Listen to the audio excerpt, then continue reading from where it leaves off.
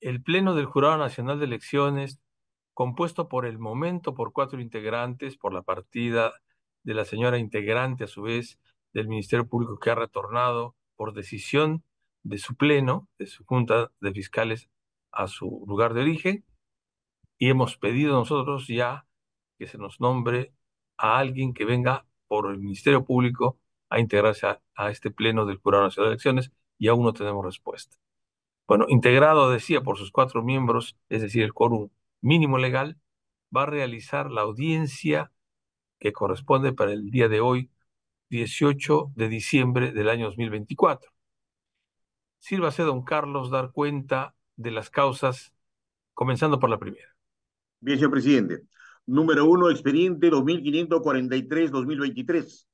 Apelación interpuesta por Adelaida Micaela Pinday Mesones contra el acuerdo de consejo que rechazó el pedido de vacancia de Víctor Hugo Febre Calle como alcalde de la Municipalidad Digital de 26 de octubre. Por doña Adelaida Micaela Pinday Mesones participa el abogado Víctor Edinson Valdés Meléndez. Por el señor Víctor Hugo Febre Calle concurre el abogado Ubaldo Pizarro Paico. Correcto. Están conectados el doctor Valdés. El, doctor Pizarro no ingresa, no ingresa, ahí está ingresando, señor. Muy bien. El doctor Valdés tiene el uso de la palabra por el lapso de Cinco minutos, ¿verdad, don Carlos? Sí, señor, cinco minutos por cada intervención. Adelante. Muchísimas gracias, ilustre señor presidente. Muchas gracias, ilustres señores miembros del jurado. Se trata de una demanda, de un pedido, de una solicitud de vacancia acorde con lo que establece el numeral, el inciso 9 del artículo 22, concordante con el artículo 63 de la Ley Orgánica de Municipalidades, presentada por Adelaida Micaela Pinday Mesones contra el alcalde Víctor Hugo Febre Calle del Distrito 26 de Octubre, provincia y departamento de Piura. En estos casos, ilustre magistrado presidente, el Jurado Nacional de Elecciones ha establecido que la vacancia por restricciones eh, de contratación se produce cuando se comprueba la existencia de una contraposición entre el interés de la comuna y el interés del alcalde, eh, que pueda representar intereses contrapuestos. Y en efecto, la jurisprudencia del Jurado Nacional de Elecciones ha establecido en reiteradas ocasiones que debe darse una evaluación tripartita y secuencial de esta manera. La existencia de un contrato en el sentido amplio.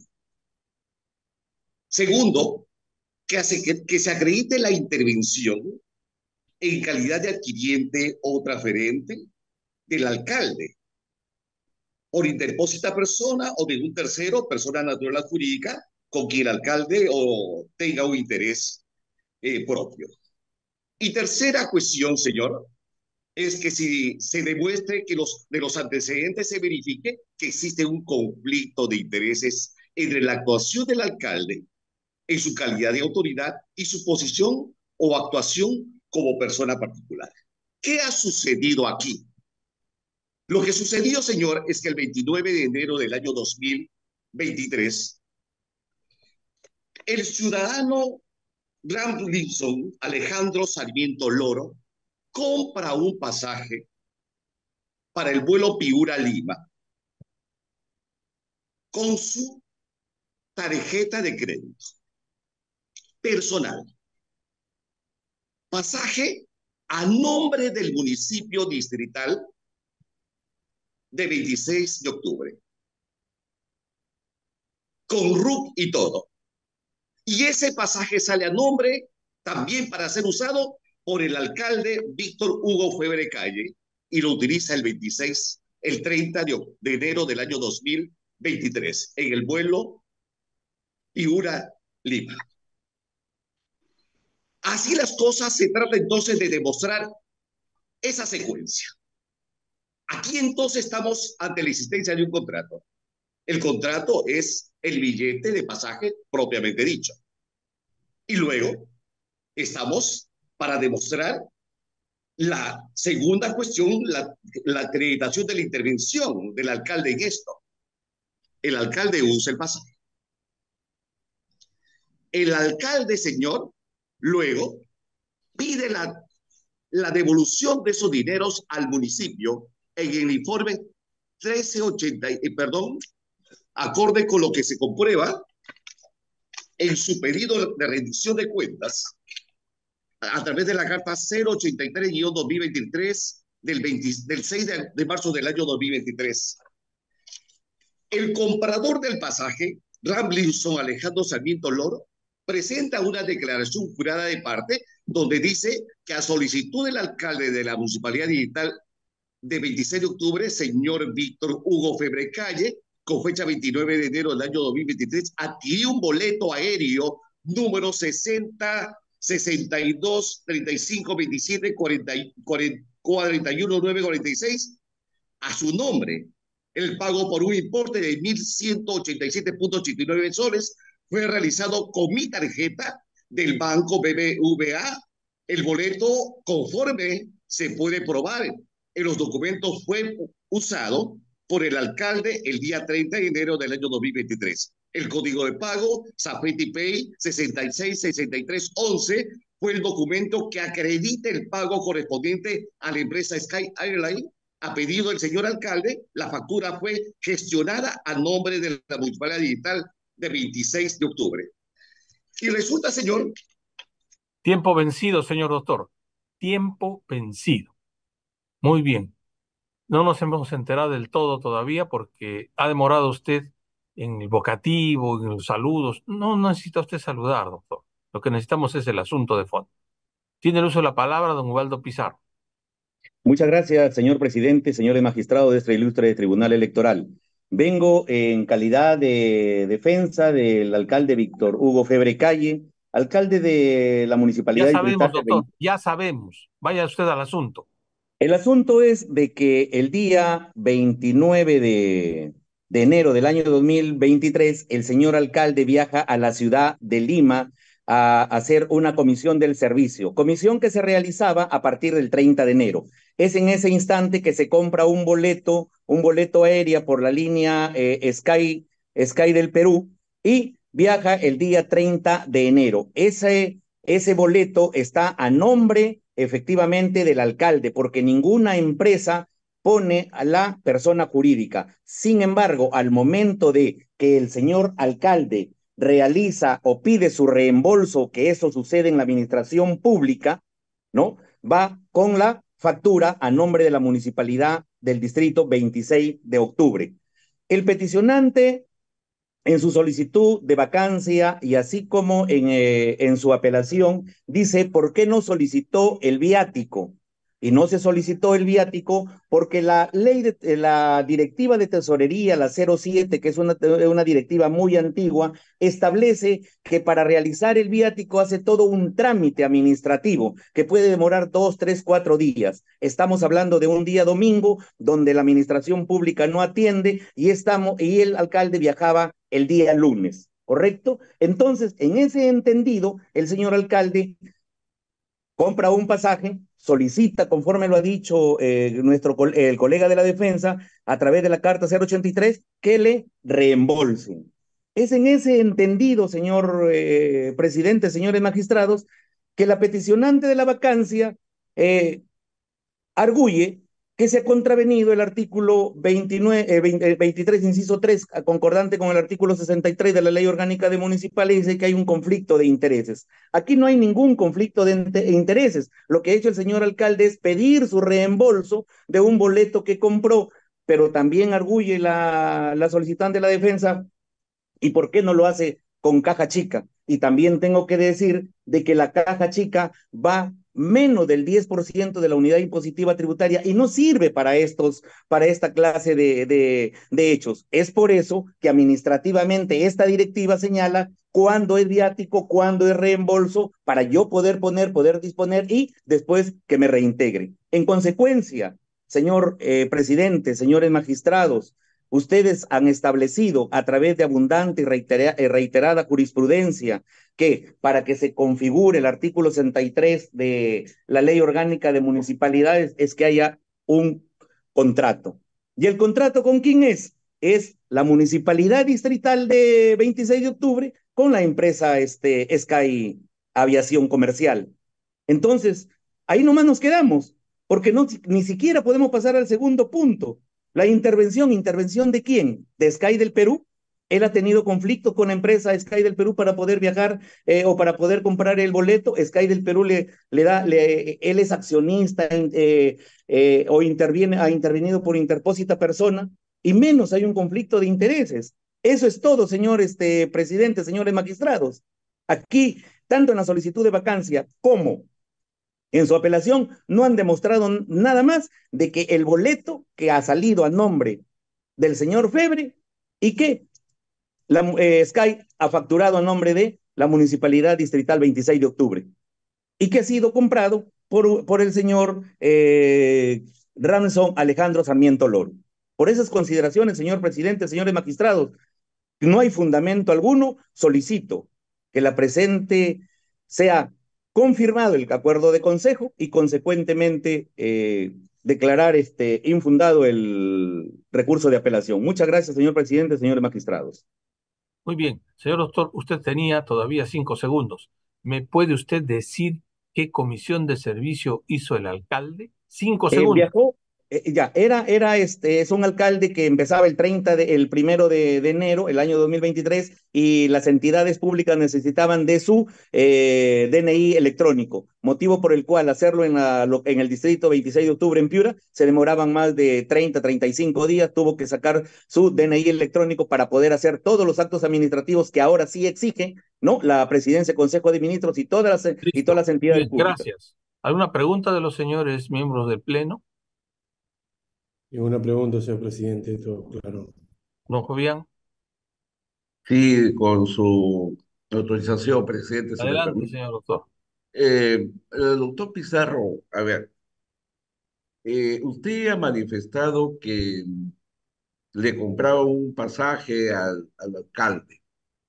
Que, y así es fácilmente que un tercero puede comprar un pasaje eh, a nombre de la municipalidad y que la autoridad, no sé si donación, usted lo va a explicar ahí, le ha donado el pasaje, no sé, ¿no? Y que ese dinero que es de un tercero, después usted mismo ha dicho que lo ha liquidado.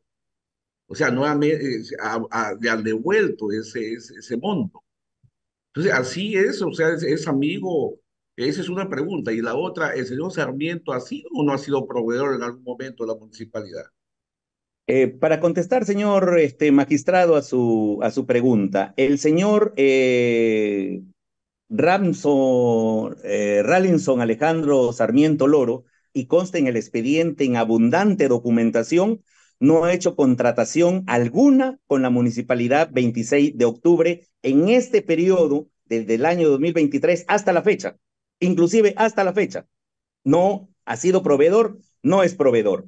Lo que pasa y, que, y lo que sucede, que fue un día domingo, el señor, el señor alcalde, al amparo del reembolso, le solicita yo no puedo de repente, señor este, magistrado, entrar en detalles si es que el señor alcalde tiene tarjeta de crédito, no tiene tarjeta de crédito, tuvo efectivo, no tuvo efectivo para comprar su pasaje. Pero en determinada cuenta, esta factura salió a nombre de la municipalidad distrital de 26 de octubre. De repente me puede decir, sí, pues, este doctor Pizarro, pero por, por algo en la administración pública.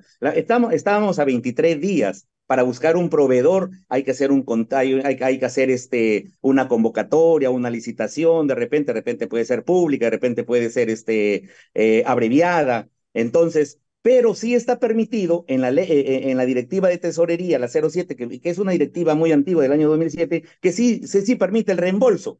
Entonces se compra, por eso que salió a nombre del alcalde, la factura a nombre de la municipalidad para que le reembolsen. Una vez ya con el reembolso, el funcionario público, y sucede en la administración pública, entrega el dinero, devuelve el dinero, ¿correcto? Pero aquí no estamos tocando ya, ningún... Este, doctor, disculpe, este, o sea, ¿qué quiere decir que el señor Sarmiento le hizo un préstamo, le donó esos mil y tanto al alcalde?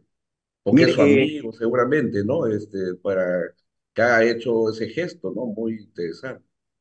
Tiene usted que ser breve, doctor Sarmiento, porque como entenderá usted, o doctor Pizarro, perdón, como entenderá usted, tenemos otras causas, la suya no es la única. Muchas gracias, señor presidente. Yo este, ahí este, desconozco, señor presidente, eh, perdón, este, señor este, magistrado, eh, Jovian, si es que este... Se cortó su micro. No hay audio. No hay audio. Felipe, ponga usted el audio. Ya, no conozco los detalles, señor este, magistrado, cómo es que se dio, si le devolvió o no le devolvió, pero aún todavía el pago está en la municipalidad eh, distrital 26 de octubre porque no se, efectu no se ha realizado todavía ese reembolso. Bien. Eh, ahora, eh, una sola pregunta, doctor Valdés. Eh, usted se, manifestó que hay tres elementos que tienen que concurrir para, para que se pueda, digamos, tipificar lo dispuesto en el artículo 63 ¿no? de, de la ley.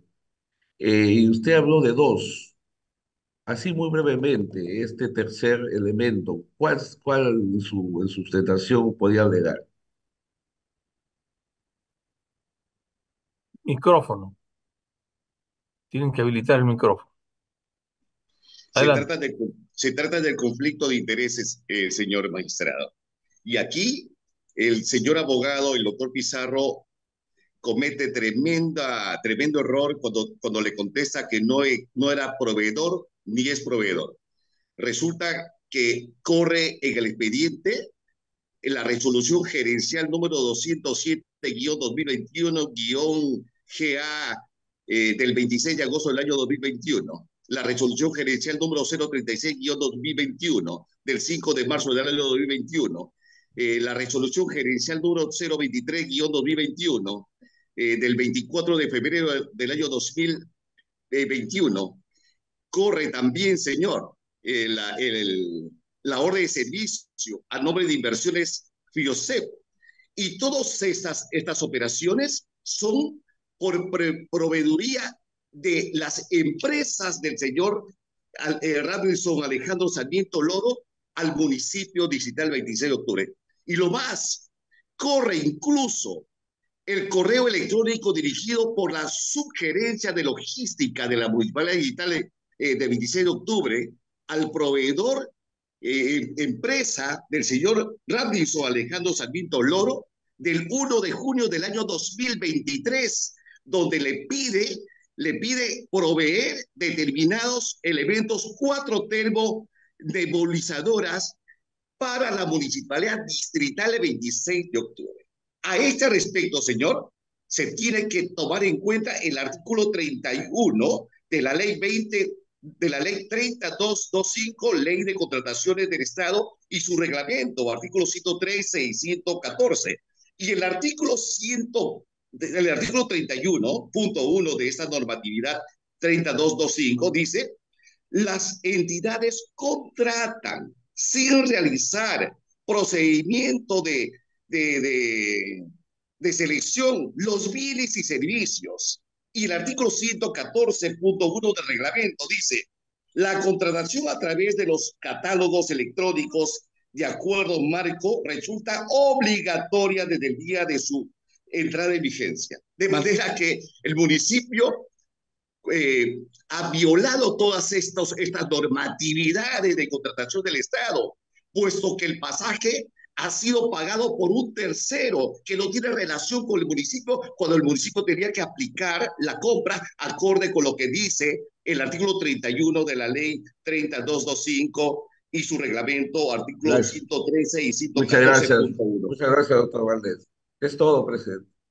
Sí, pues, ¿alguna pregunta que tenga don uh, Aarón Ollarse?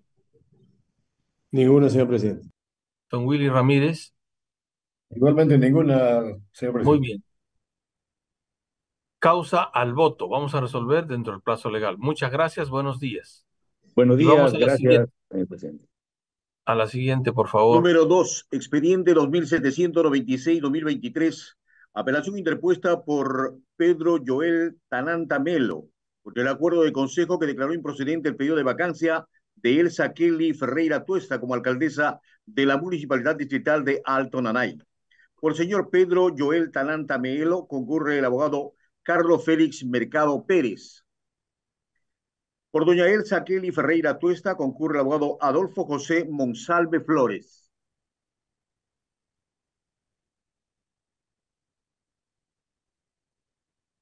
Muy bien. Tiene, ¿no están conectados? Sí. El doctor Mercado tiene el uso de la palabra por el lazo de cinco minutos. Muchas gracias. Buenos días, señor presidente del ilustre Tribunal Electoral del Jurado Nacional de Elecciones. Corresponde en esta ocasión. Vaya usted al punto, doctor. Está usted consumiendo segundos. Correcto.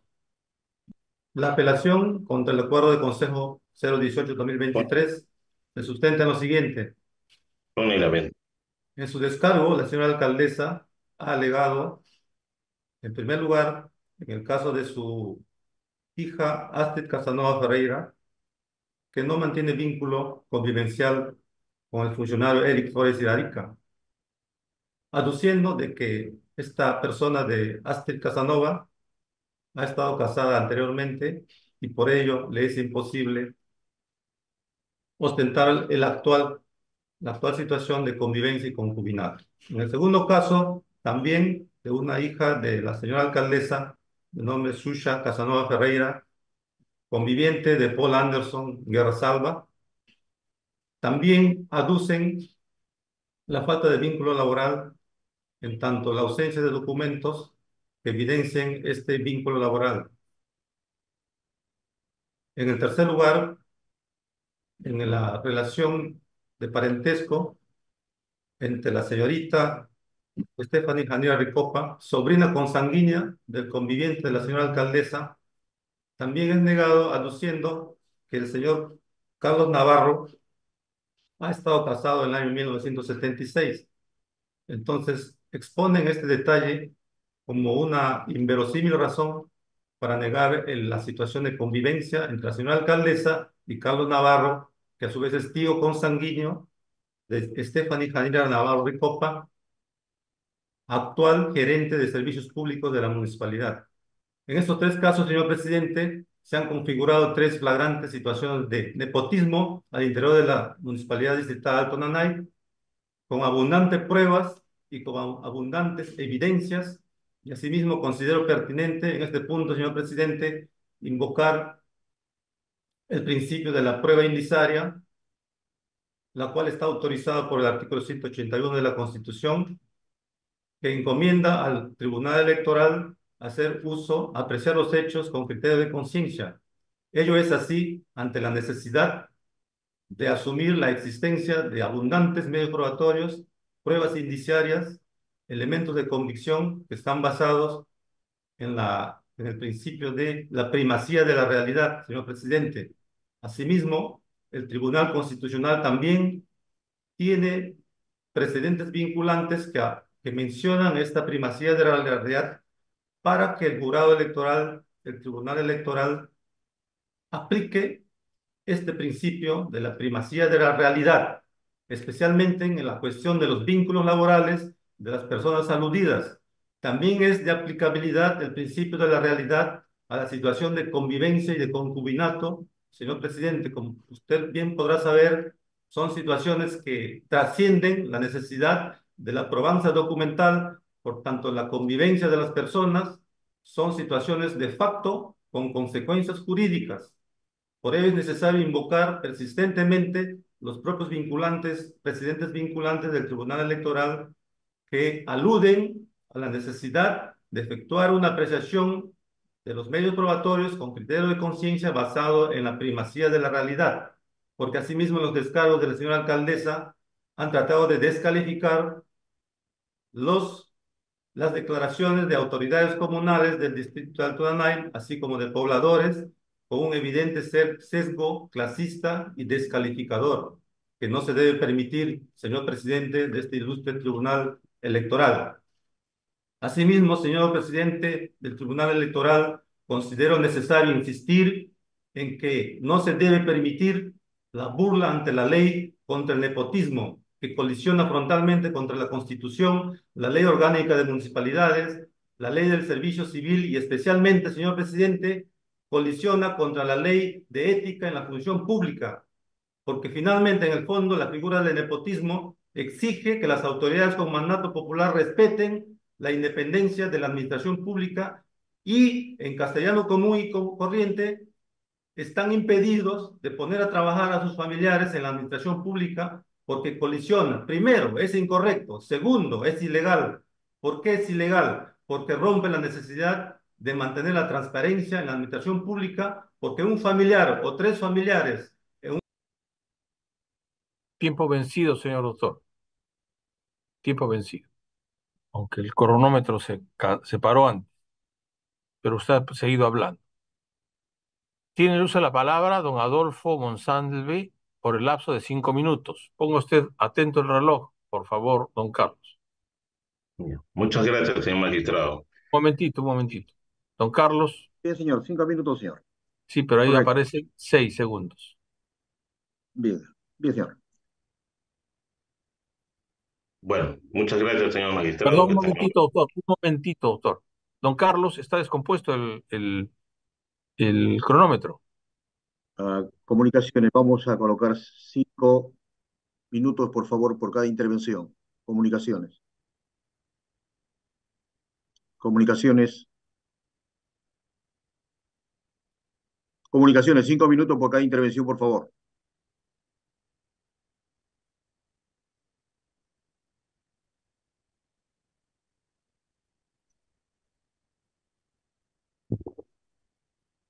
Atención, Felipe. Comunicaciones.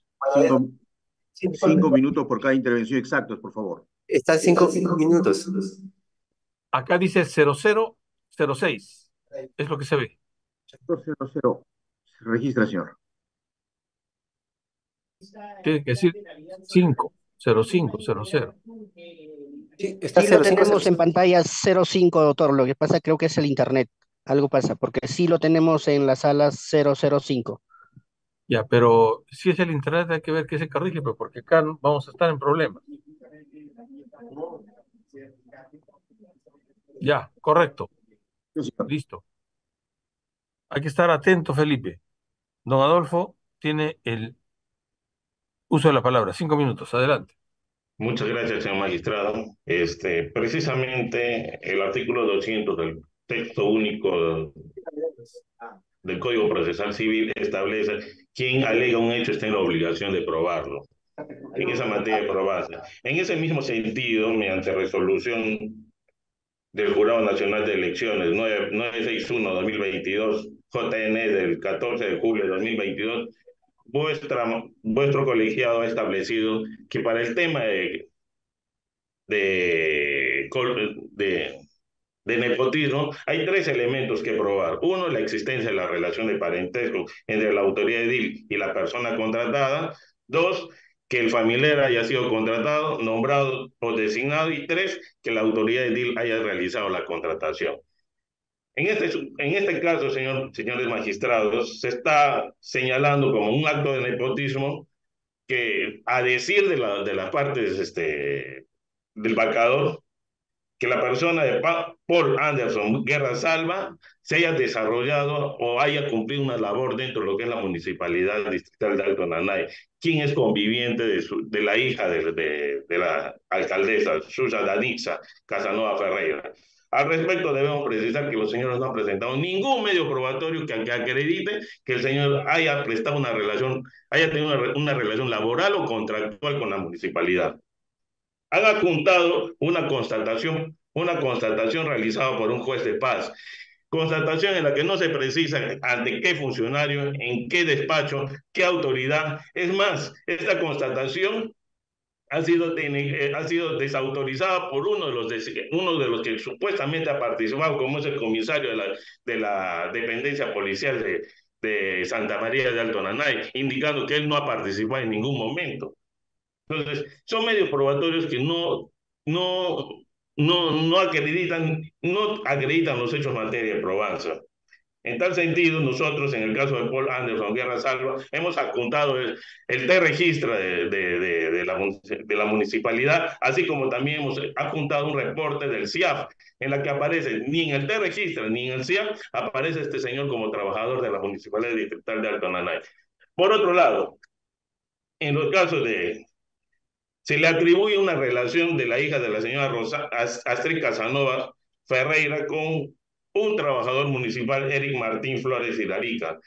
Simplemente no ha adjuntado ni, ningún medio probatorio que acredite la supuesta relación que estos señores señalan. Simplemente han adjuntado tomas fotográficas en las que eventualmente han estado departiendo juntos han estado departiendo juntos. Por el contrario, nosotros hemos adjuntado la partida de matrimonio vigente, que no está separada, no está divorciada, así como también la constatación domiciliaria y la partida de nacimiento de la menor hija de, estas, de la señora Astrid Casanova Ferreira. Entonces, con ellos nosotros con instrumentos públicos acreditamos que la inexistencia de esa relación que los señores acusan.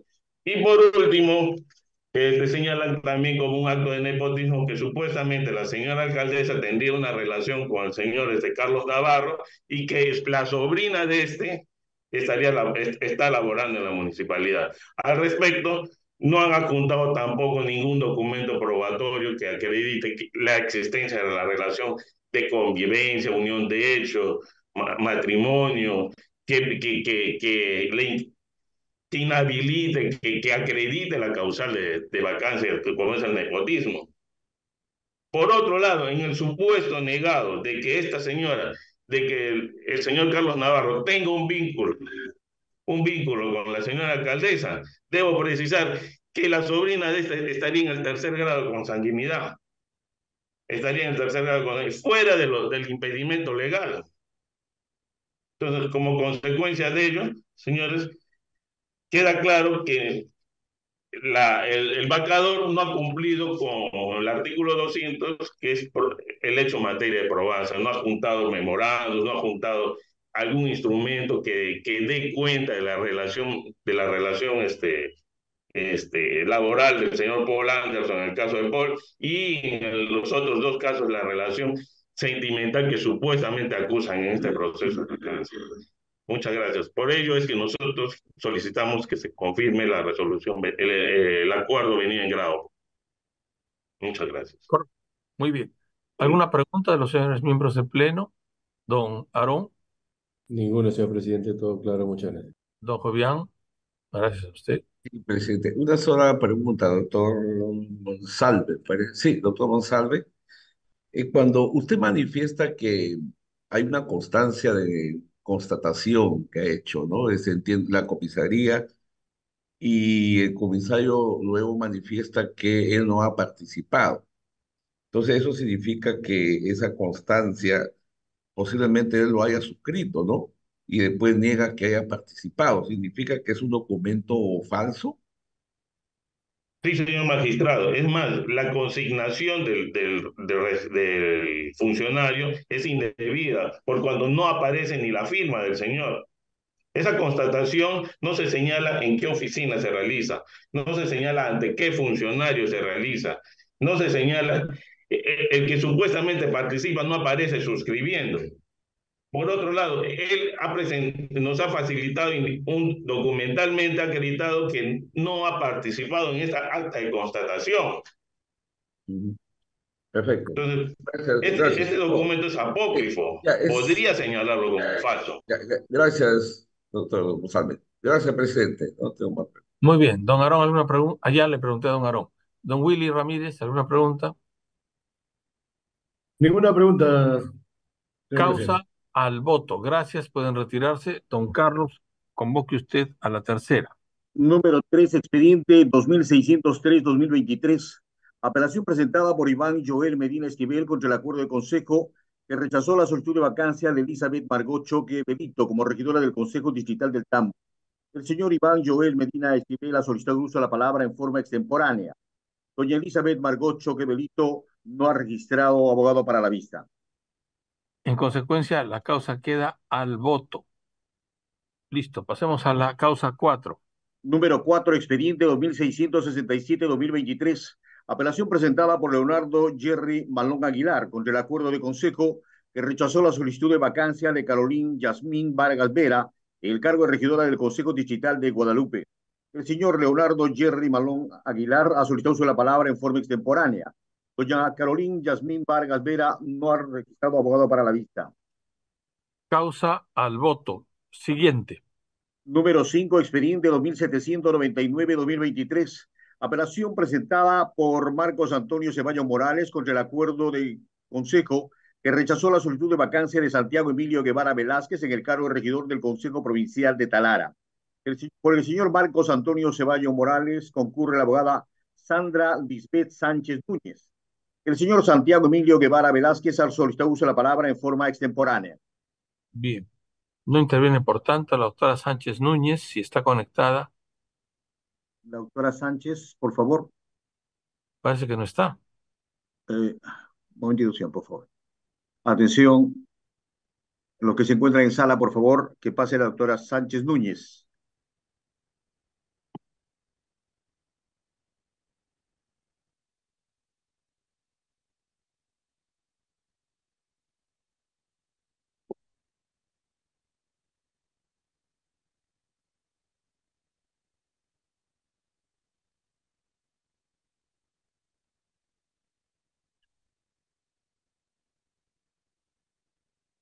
La doctora Sánchez no está. Causa. Voy a, voy a, un momentito, señor, voy a verificar, por favor. Tenga la bondad.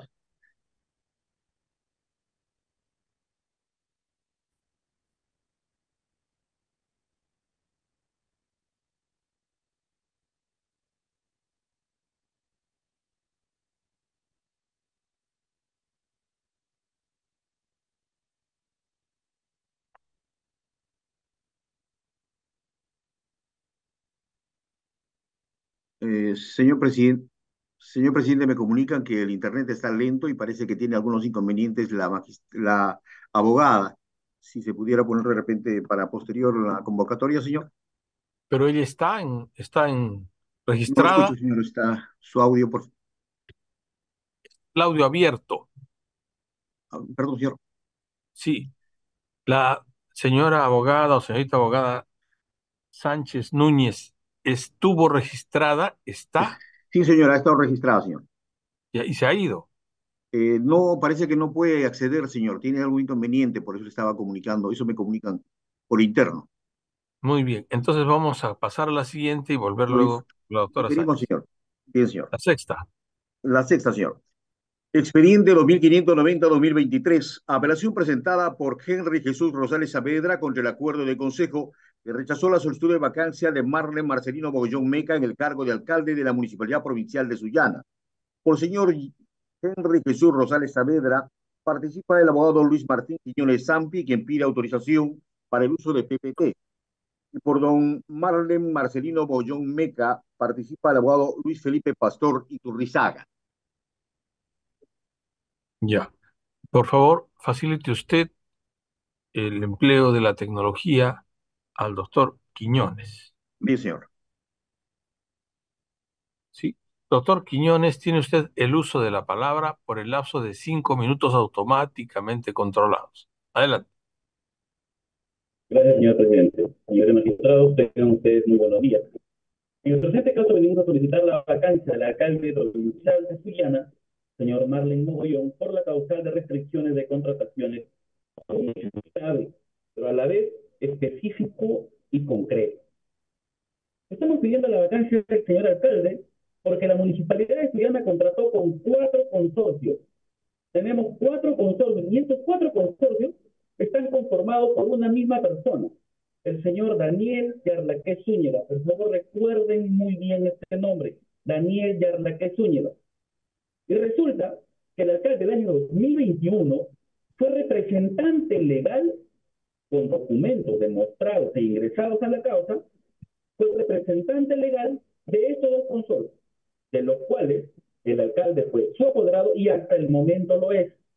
Es innegable, está documentado el alcalde tiene una vinculación, tiene una vinculación con esta persona, Yarlaque Suñero, quedando acreditado el interés directo y el conflicto de intereses del alcalde con estas cuatro contrataciones realizadas a través del consorcio conformado por esta persona, vuelvo a decir, la legitimidad.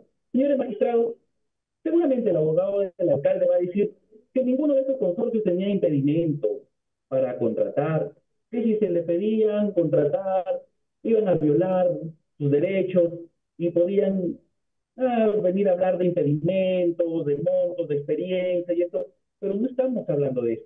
Esto es una falacia total, puesto que lo que estamos viendo aquí, lo que estamos analizando, son los impedimentos. Estos impedimentos los analiza los y la Contraloría. Lo que vamos a en la son las restricciones, bajo el contexto de que no hay ningún impedimento legal. ¿Entendemos? Por ello es aquí el mejor ejemplo es el caso, prácticamente, el caso práctico que ustedes están apreciando, ¿no? la resolución 950-2021, en el pleno bajó el alcalde de San Luis por contratar con una empresa que no tenía impedimento, pero que claramente el alcalde tenía un vínculo, tenía un vínculo no con la empresa, pero sí con uno de los accionistas, como ven prácticamente este caso es idéntico. Siguiente diapositiva, por favor. Tenemos también, en el caso de la resolución 452, 452, 2020, donde se bajó el alcalde de Guántaro. Se bajó el alcalde de Guántaro y en el sustento número 18, ustedes son clarísimos en señalar lo siguiente. Se puede deducir que entre la autoridad cuestionada y los directivos de aquella asociación existe una relación de afinidad toda vez que han formado parte de la misma organización y compartieron intereses en común. Por lo tanto, lo único que pedimos al Pleno es que aplicando el mismo criterio declare la vacancia del alcalde de Suyana, pues de lo contrario estarían pasando por alto hechos tan evidentes que merecen que el alcalde sea separado de los cargos. Una diapositiva más, por favor. Efectivamente, señores, aunque parezca increíble, la Municipalidad de Suyana realizó cuatro contrataciones con consorcios y lo inaudito es que estos cuatro consorcios están, están conformados por la misma por la misma persona, el señor Yarlaque Zúñiga. Y resulta el alcalde ha sido representante legal de estos consorcios conformados precisamente por esta persona. Incluso, incluso al día de hoy, el alcalde mantiene dicha relación jurídica de representación porque no ha sido revocada y el mismo alcalde en su declaración de interés presentados ante la Contraloría, declaró, declaró que es representante de estos consorcios hasta la actualidad, hasta la fecha, y en su NAP también sigue figurando esta representación. Para que quede claro todo este entramado, ustedes mismos pueden ver en pantalla, ¿no? El municipio realizó cuatro contrataciones. Por la supervisión José Olaya por 136 mil. ¿A quién se contrató? Al consorcio José Olaya. Y en este, ¿por quién está integrado? Por el señor Daniel que Zúñiga. Tenemos la supervisión de San Pedro y San Pablo por 188 mil. Consorcio de integración, ¿por quién está integrado nuevamente? El señor que Zúñiga. Para la supervisión de Cieneguillo por 226 mil. Se contrató al consorcio Canal Cieneguillo, integrado por quién? Daniel. Y finalmente, para la contratación de mi segundo hogar por 150 mil al consorcio Mi Segundo Hogar, una vez más el señor Yarla, que es Roñera. Como pueden ver, los cuatro consorcios ganadores o coincidencia integrados por el señor Yarla, que es Roñera, incluso el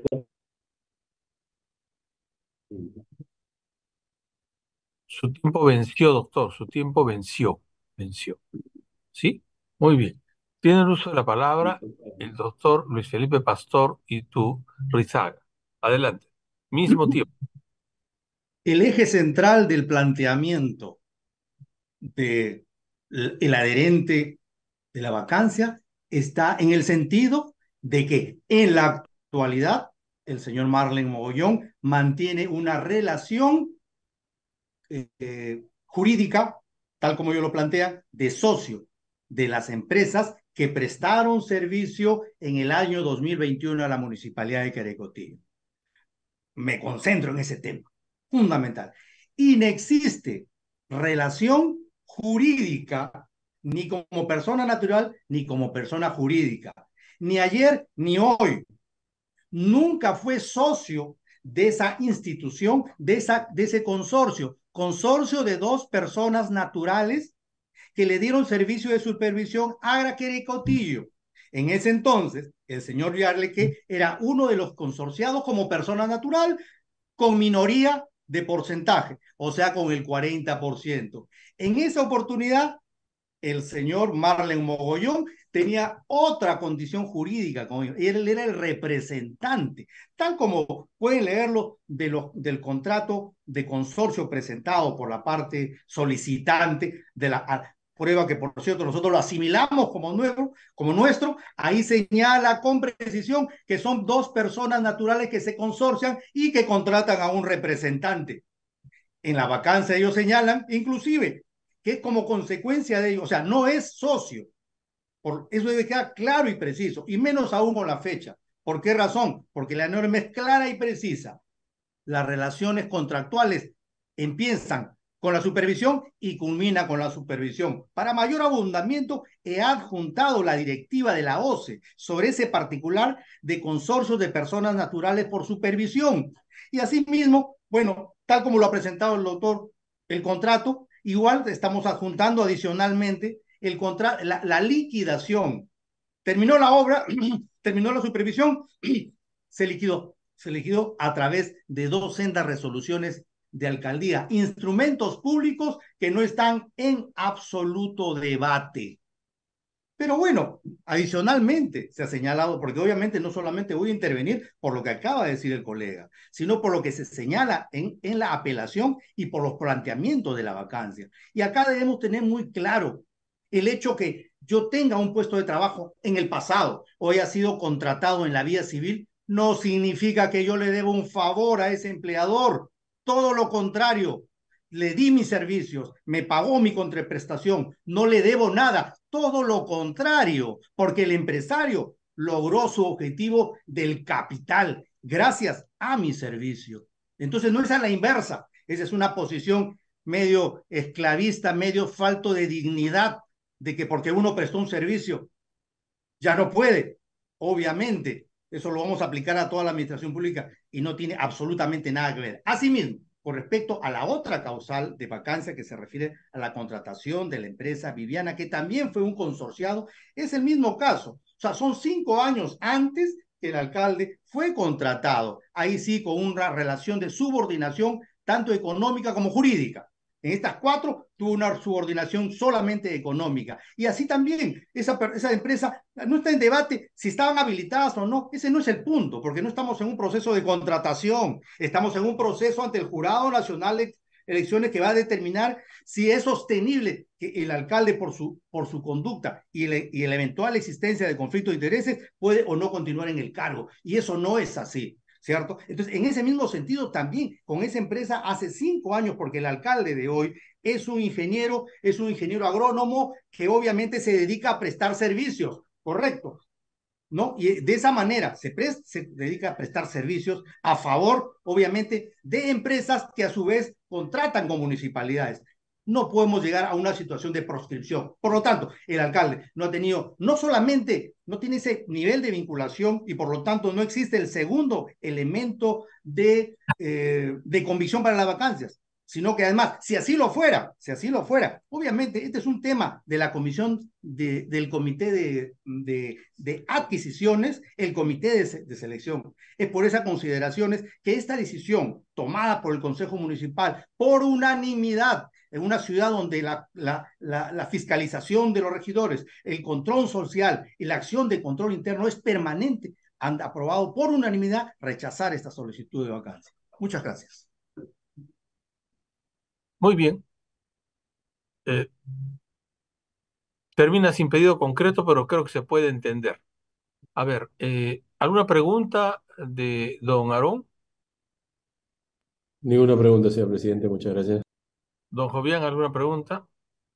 Sí, una pregunta, señor presidente, al doctor Pastor. Este, ¿qué nos puede eh, decir, doctor, de lo alegado por su oponente cuando señala que en la declaración jurada de intereses, el alcalde eh, ha declarado que él sigue siendo representante, no sé si de una empresa o del consorcio. ¿Eso a la fecha sigue vigente? En efecto, el señor doctor ha sido, perdón, el señor doctor ha sido objeto de una pregunta concreta. Por favor, si lo usted responder de la manera más concreta.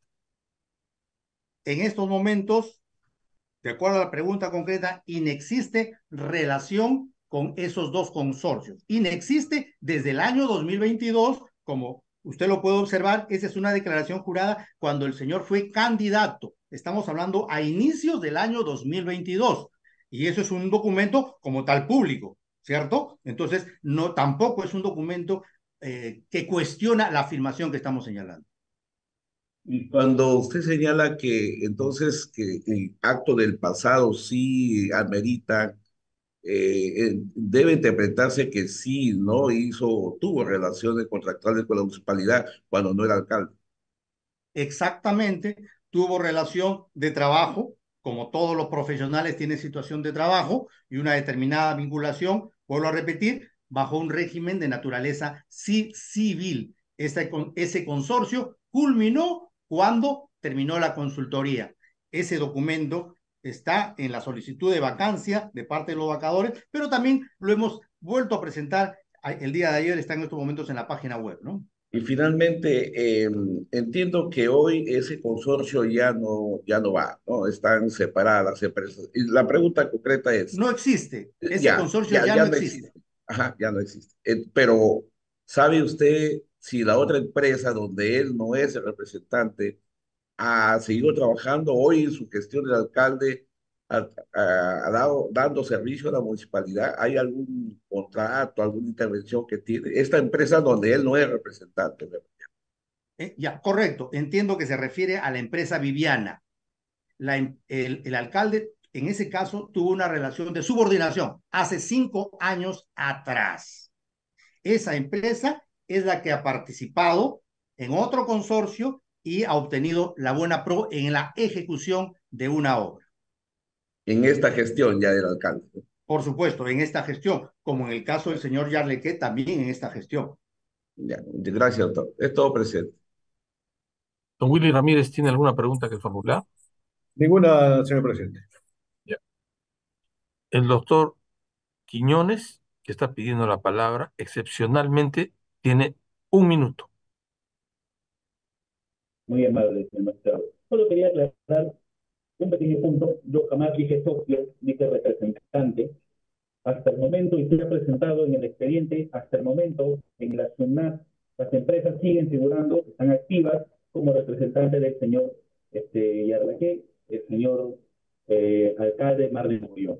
Como último punto, quería decir, las empresas, estas empresas del señor Yarlaque, figuran en su domicilio, su domicilio ponen como, esta empresa lo ponen como domicilio de la empresa, la dirección real del alcalde de Suyana, del señor Marlon Entonces quiere decir, si hay una vinculación, si hay un afecto. Por lo tanto, permanecen sus responsabilidades jurídicas, por lo cual después solicitamos que sí se declare fundado el recurso de apelación y se declare la vacancia del señor alcalde.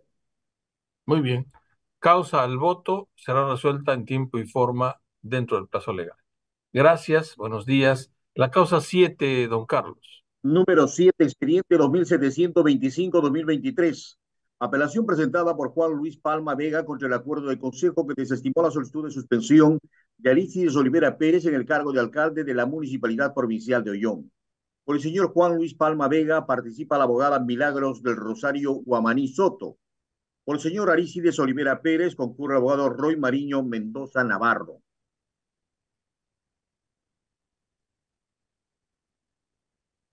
La doctora Guamaní Soto tiene uso de la palabra por el lapso de cinco minutos. Adelante, doctora. Buenos días, señor presidente. Primero quisiera eh, solicitar si su tribunal me concediera la acumulación de causas, siendo de que tanto eh, el expediente 2725, que el que está viendo ahora, y el 2726 versan sobre los mismos hechos. El, 8, el 28, dice usted. Ah, sí. 7 y 8. ¿Algún criterio de la defensa? ¿La defensa del doctor Mariño tiene alguna oposición sobre ese particular? Señor presidente, buenos días. Totalmente de acuerdo con la acumulación de tiempo. Correcto. Muy bien. ¿Alguna opinión de los colegas en contra? De acuerdo. Muy bien, entonces vamos a acumular la 7 y la 8. ¿Son por motivos diferentes, doctora Guamaní? Mismos hechos, eh, mismo tipo de, de, de causa, nada más que son dos acuerdos de consejo realizados el mismo día. Eh, para el expediente 27-25 fue el acuerdo de consejo 158 y para el caso del, del, eh, del 27-26 es el acuerdo 159. Ambos contra el alcalde de Ollón. un momentito, un momentito. Doctor Mariño Mendoza. Sí, señor presidente. A ver, a ver, a ver. ¿Son los mismos hechos en dos resoluciones o son hechos diferentes?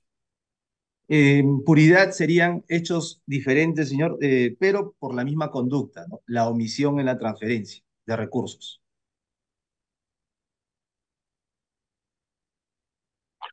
Bueno, ya veremos. Pues entonces, tiene el uso de la palabra la doctora Guamaní Soto. El presidente se va a dar cuenta de la causa 8, por favor. De cuenta de la causa 8, gracias. Bien, señor. Expediente 2726-2023, apelación interpuesta por Aldrin García Ugarte contra el acuerdo de consejo que desestimó la solicitud de suspensión de Aristides Olivera Pérez en el cargo de alcalde de la Municipalidad Provincial de Ollón. Por el señor Aldrin García Ugarte participa la abogada Milagros del Rosario Amaní Soto. Por el señor Aristides Olivera Pérez participa el abogado Roy Mariño Mendoza Navarro. Muy bien. Entonces, en teoría son 10 minutos porque son dos motivos distintos según se me ha dicho. Tiene uso la palabra la doctora del Rosario Guamaní Soto. Muchas gracias. Muy buenos días con todos los presentes. Eh, vengo acá a solicitar que revoquen el acuerdo del Consejo 158-2023 eh, del expediente 2725 y así también el acuerdo del Consejo 159-2023, ambos eh, de fecha 18 de septiembre de 2023.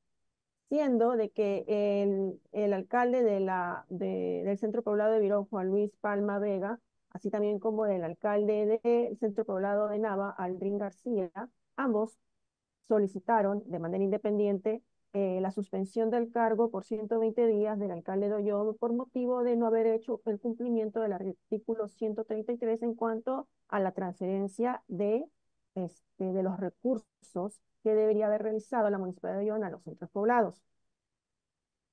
En dichas resoluciones, señor magistrado, se pueden notar diferentes errores de hecho y derecho en cuanto a la aplicación de la norma y en cuanto a la motivación. Eh, primero, tengo que acotar que en ambas, de ambos este, acuerdos de consejo, eh, el análisis otorgado por parte de los regidores no se basa en la normativa y no se basa en un análisis jurídico, sino más bien en, en, una, en un análisis más de sesgo político. Y eso se puede observar directamente de las... Eh, de, de, las citas textuales que aparecen en dichos acuerdos, en los cuales no mencionan ni analizan eh, el ordenamiento que está, bien, que está siendo, este, eh, que está siendo parte y fondo de la solicitud de ambos centros poblados.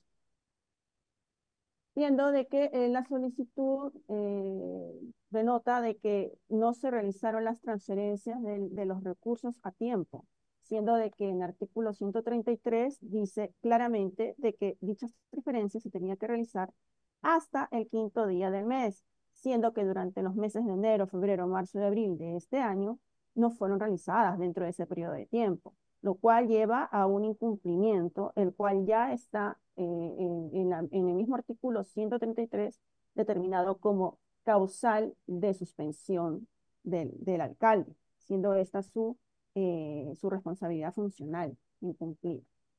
Al ser esto una reiteración, ya que no solamente lo incumplió en un solo mes, sino durante cuatro meses seguidos, esto requeriría en 120 días de suspensión solicitada por parte de los otros poblados, lo cual eh, la parte de la Municipalidad de Ollón alegan en el, alegan de que sí se realizaron dichos este, dichas transferencias eh, y por lo tanto no recae en dicha eh, suspensión. Pero tengamos en cuenta de que dichas transferencias realizadas se realizaron con bastante tiempo, pasándose los cinco días que la norma, que la norma obliga.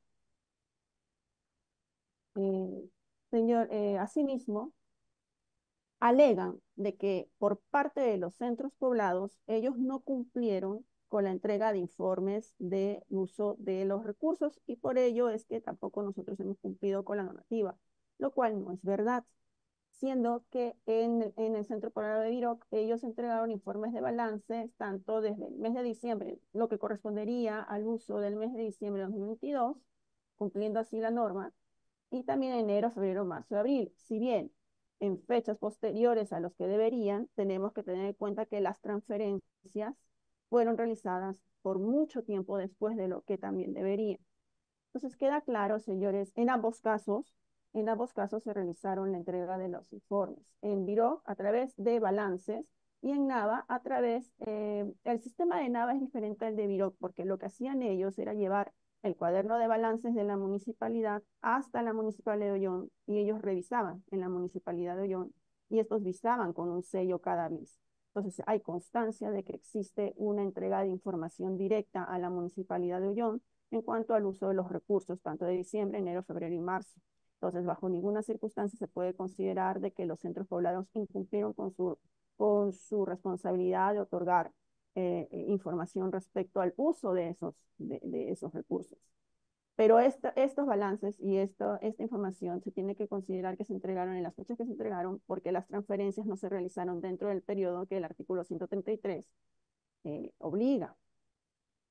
Y, este, y asimismo, señores magistrados, como se habrán dado cuenta, dichas, eh, dichos acuerdos de consejo recaen en esos errores y en el poco análisis y en una motivación incongruente, incompleta eh, y este, eh, parcializada hacia, hacia, una, hacia una idea política y no dentro del análisis de un, este, de, de un artículo que es muy importante entender acá, que es el cumplimiento. El cumplimiento está tácito en la norma, dice quinto día del mes bajo responsabilidad funcional. Estás repitiendo lo mismo ya tres veces, doctora. ¿Va a repetir más todavía? Bueno, entonces cerraré. Entonces, como eh, señores magistrados, hemos probado de que se ha cumplido por nuestra parte y el incumplimiento del, del alcalde es que solicitamos que se revoquen dichos acuerdos. Muy bien. Eh, el doctor Mendoza Navarro tiene el uso de la palabra por el mismo lapso. Por favor, eh, como quiera que este, se trata de una acumulación de dos causas similares, probablemente haya temas que por ser comunes no necesitan ser este, eh, muy especificados.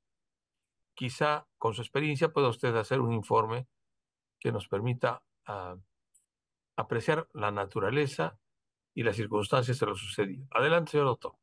Con su venia, señor presidente, saludarlo a usted y a través suyo a todos los miembros de este honorable colegiado.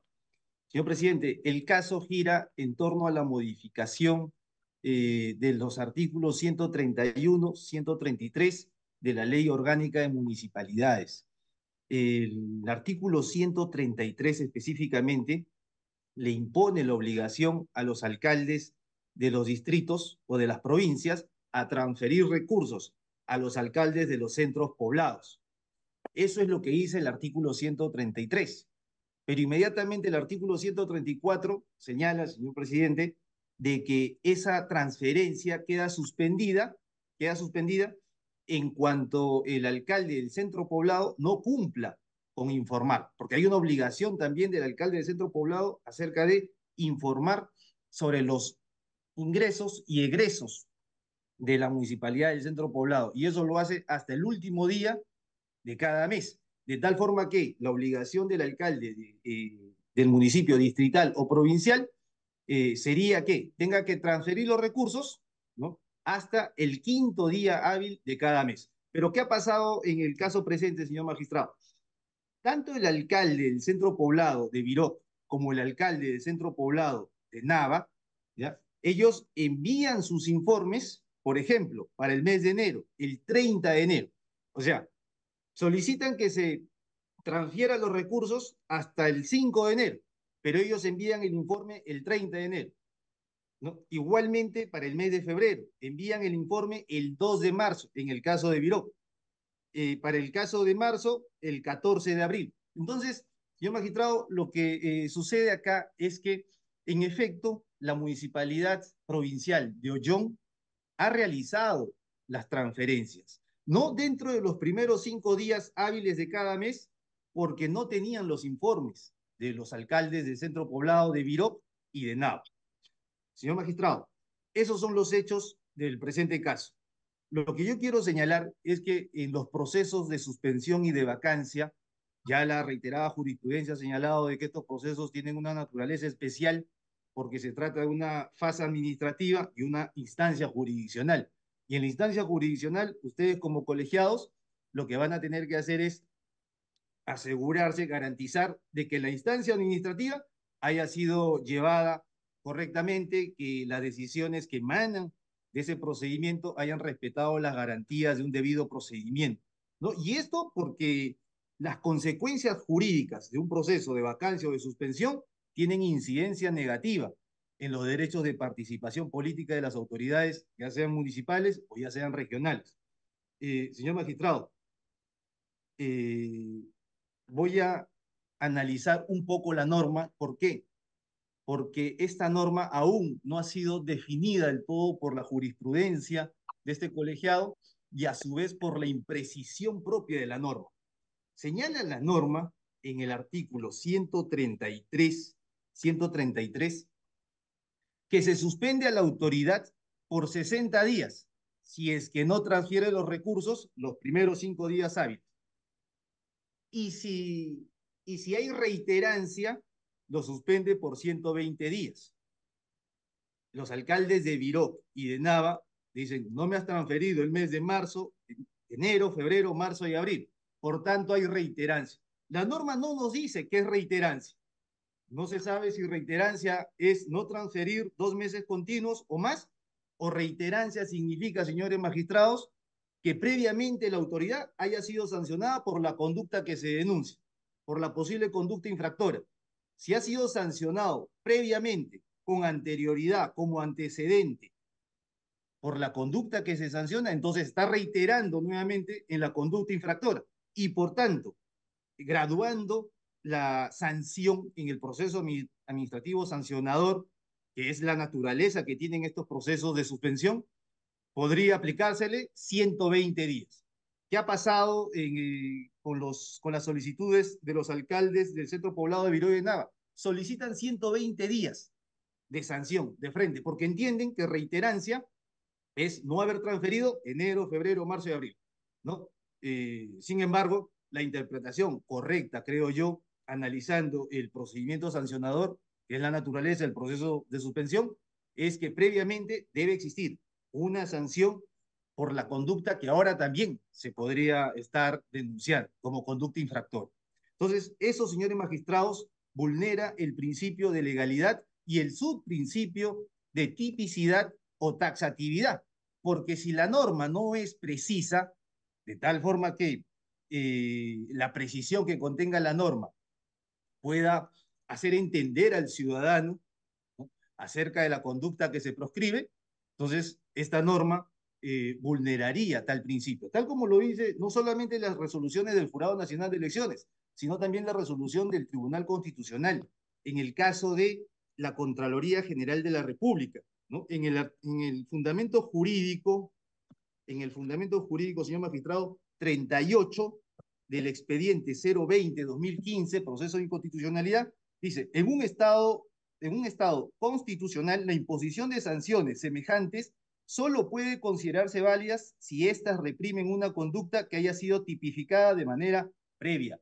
expresa y precisa, señores magistrados. Entonces, como la ley no define qué es reiterancia, podría asemejarse a reincidencia en el proceso administrativo sancionador o reincidencia en el proceso penal, si se quiere, ¿no? Porque esos principios son los que se trasladan al proceso de suspensión, proceso que estamos viendo, señores magistrados. Entonces, esta es una oportunidad también para que ustedes puedan definir lo que la norma no ha señalado.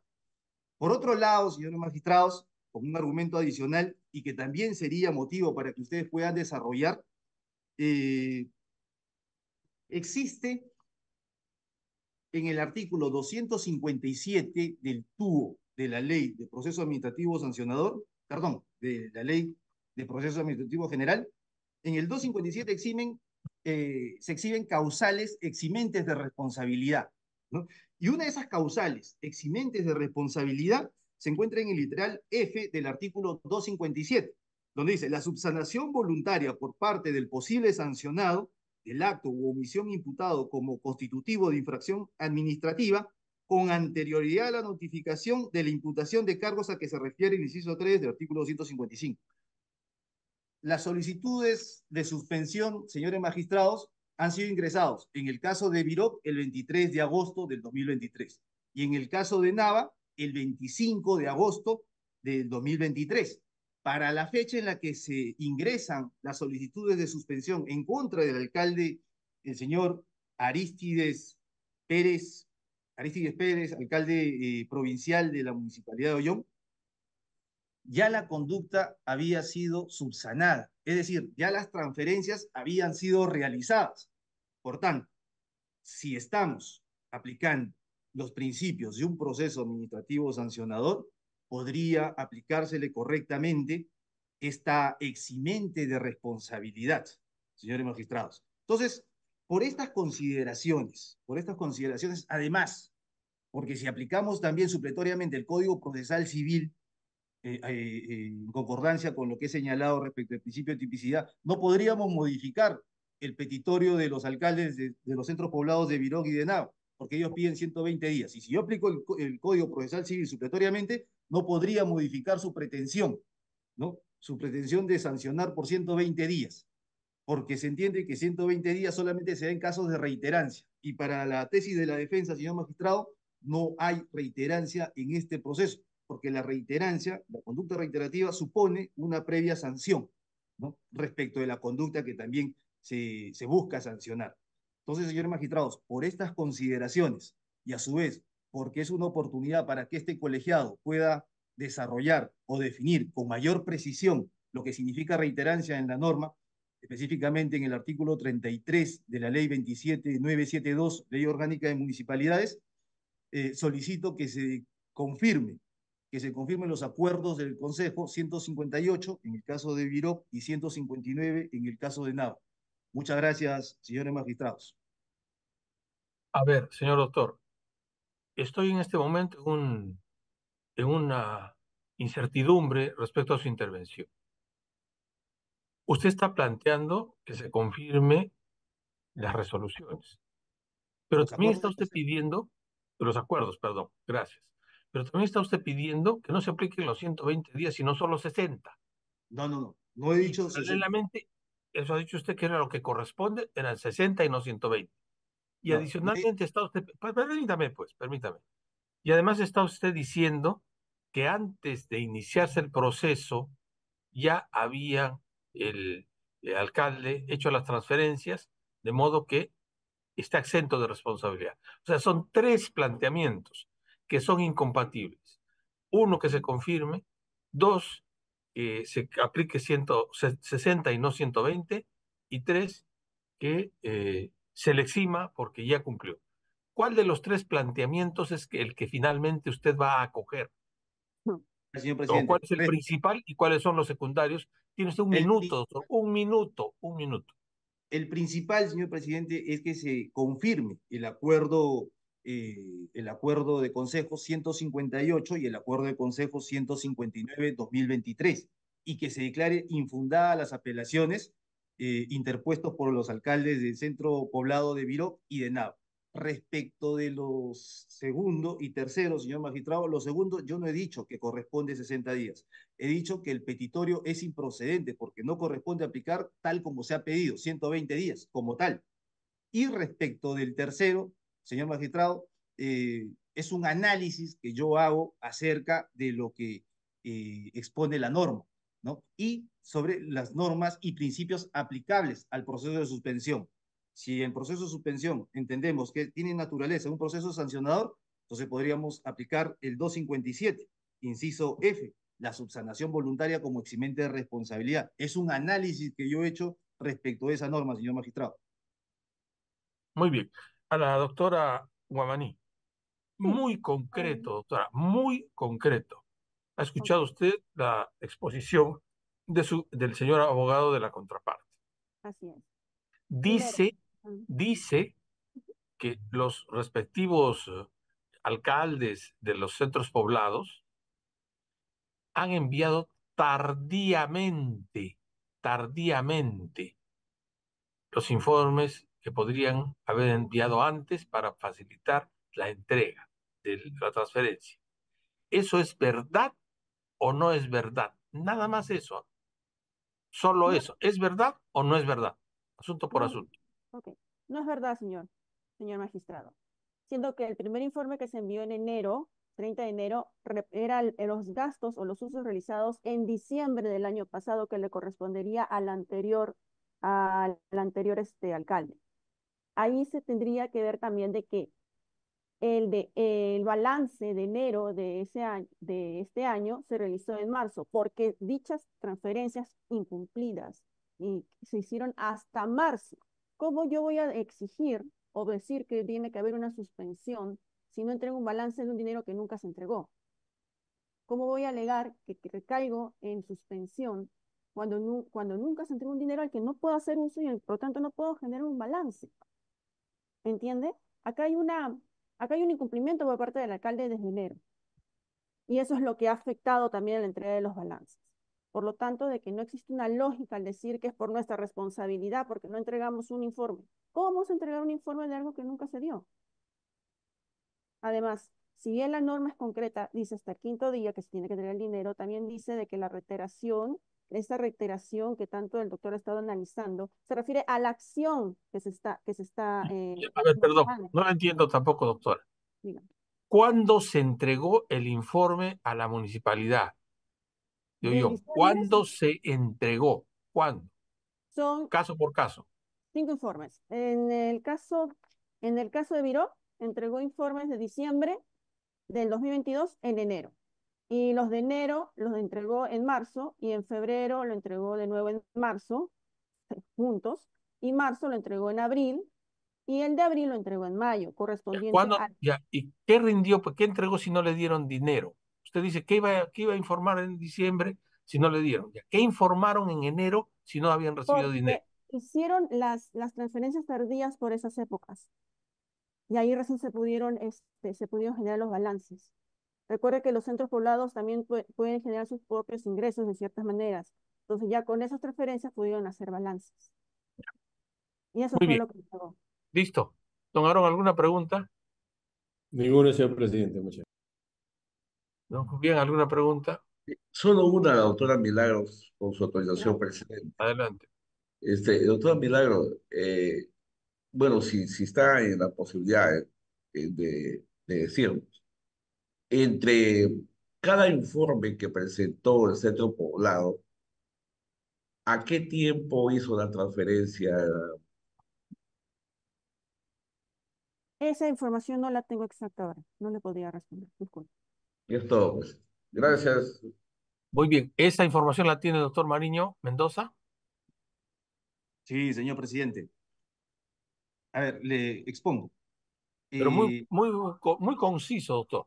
en el caso de Virop, en el caso de Virop, el informe de gastos y, e ingresos eh, respecto del mes de enero se hizo el 30 de enero del 2023 y la fecha de transferencia se hizo el 7 de marzo del 2023. De En enero a marzo me parece que hay más de cinco días, ¿no? ¿O me equivoco? así es, señor magistrado, pero como le digo, es, eh, lo que estoy haciendo es relatar las Por fechas. eso, claro, claro.